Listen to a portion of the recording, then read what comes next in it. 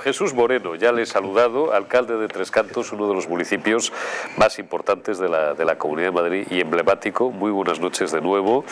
Don Jesús, estamos, están ustedes también en su municipio y en los 8.130 que componen el resto del territorio nacional, pues aproximadamente a 100 días de unas elecciones eh, municipales y autonómicas muy importantes. El otro día hacía usted balance ante los medios de comunicación y hoy le voy a pedir, siquiera sean dos, tres minutos, que lo haga también como cortesía para los espectadores de Distrito TV y de los intocables.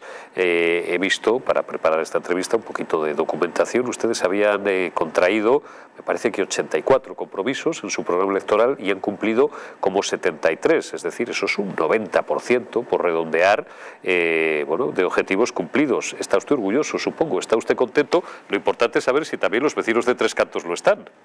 Bueno, pues nada, en primer lugar, muy buenas noches y muchísimas gracias por la, por la invitación y la oportunidad de estar en esta gran mesa de, de debate.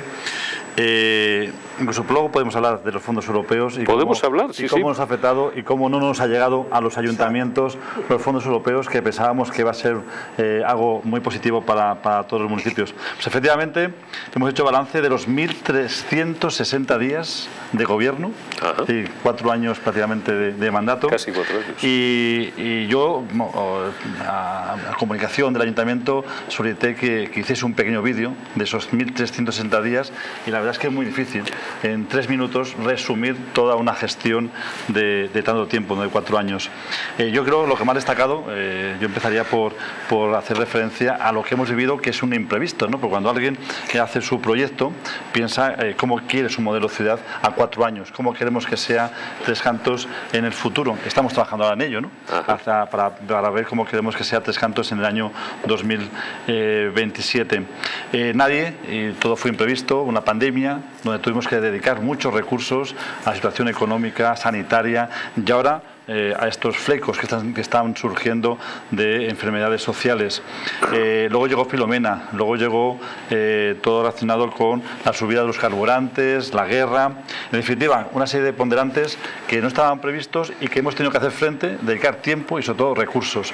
Aún así, de esos 84 puntos que habíamos previsto para nuestro programa electoral, el modelo de ciudad que queremos, un modelo de ciudad que apuesta por el empleo, un modelo de ciudad que apuesta por tener una ciudad segura, como es Tres Cantos, eh, somos el municipio más seguro de la Comunidad de Madrid, somos el municipio que genera empleo, porque atraemos empresas, porque las empresas que están en Tres Cantos están ampliando y están generando puestos de, de trabajo, somos una ciudad que apuesta por el deporte, por la cultura, estamos haciendo inversiones millonarias en los colegios públicos de Tres Cantos.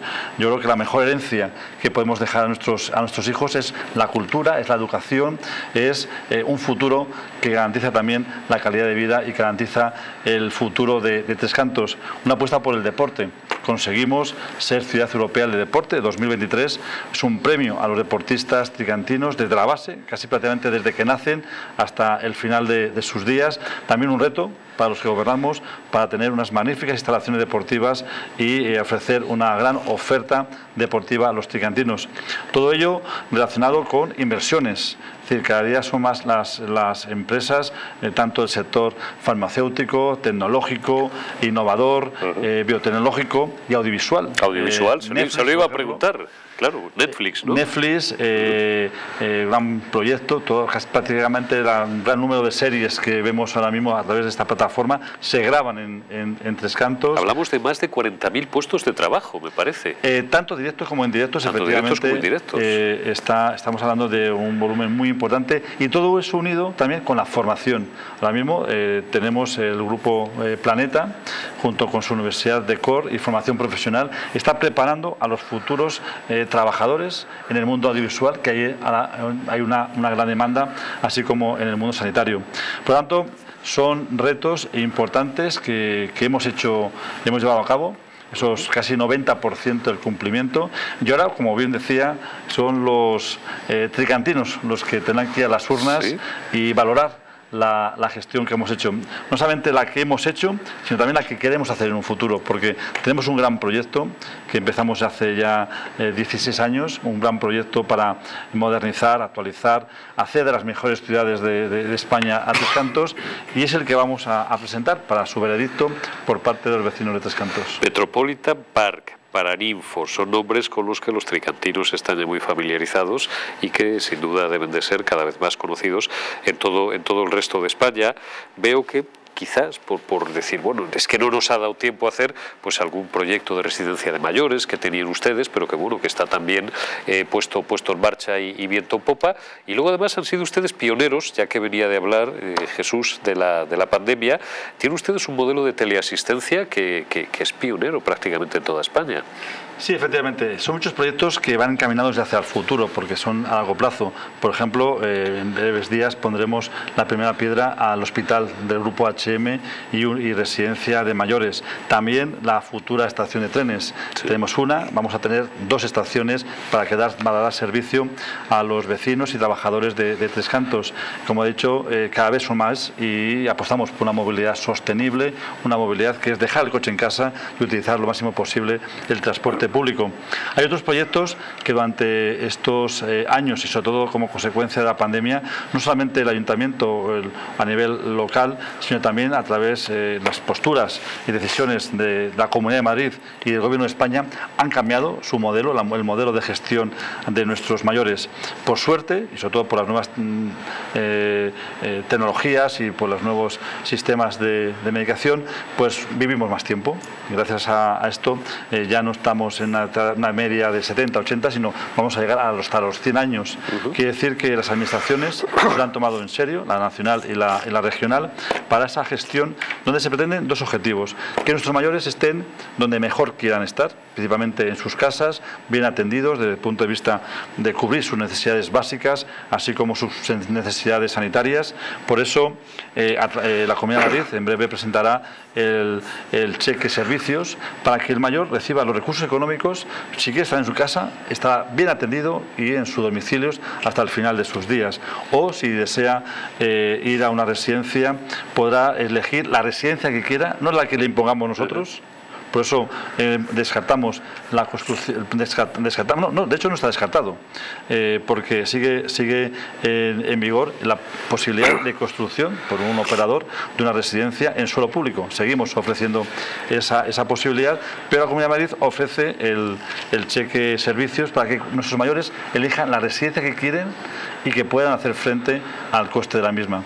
Puede ser Tres Cantos, o un hijo suyo se pueden ir a vivir, por ejemplo, a otro municipio de, la Comunidad Madrid, pues pueden cambiar libremente de residencia. Yo creo que es un nuevo modelo de gestión de nuestros mayores y, por supuesto, tener todos los servicios eh, eh, con una, calidad. Eh, teleasistencia, servicio de ayuda a domicilio, centro de día.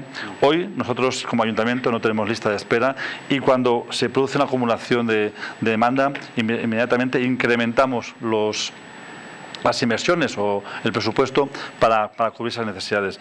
Creo que nuestros mayores eh, han dado todo por, por, nuestro país, por nuestro municipio. Es verdad Tres Cantos también es el, municipio que mayor pensión cobra nuestros, nuestros jubilados porque han cotizado, han trabajado duro, han cotizado mucho a la seguridad social y hoy son los que la media mayor pensión reciben.